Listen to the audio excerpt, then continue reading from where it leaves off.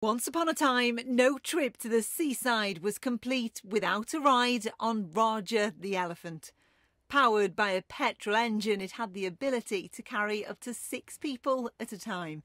In the late 1940s, it was often seen ferrying children up and down the Morecambe Promenade. Though that may have changed, the rest is pretty much the same. It was really fun. It, it felt faster than I thought it would go. It was quite bumpy, but it was really good. It rained so fast. Very fast on the elephant.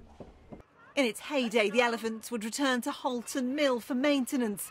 But when Britons began holidaying abroad, Raja's popularity dwindled. Until now. He was rediscovered in a picture at the 2010 Crosby Carnival. And three years later, he's back home. The fact that it's local, the fact that it was designed, we understand, by a guy in Morecambe who made them as a sort of post war idea for, for regenerating Morecambe as a seaside resort after, after the war. It's fantastic to have it back here. Today, villagers in Halton near Lancaster welcome the animal home to mark the opening of their mill. And over 60 years on, Raja was still proving a big hit.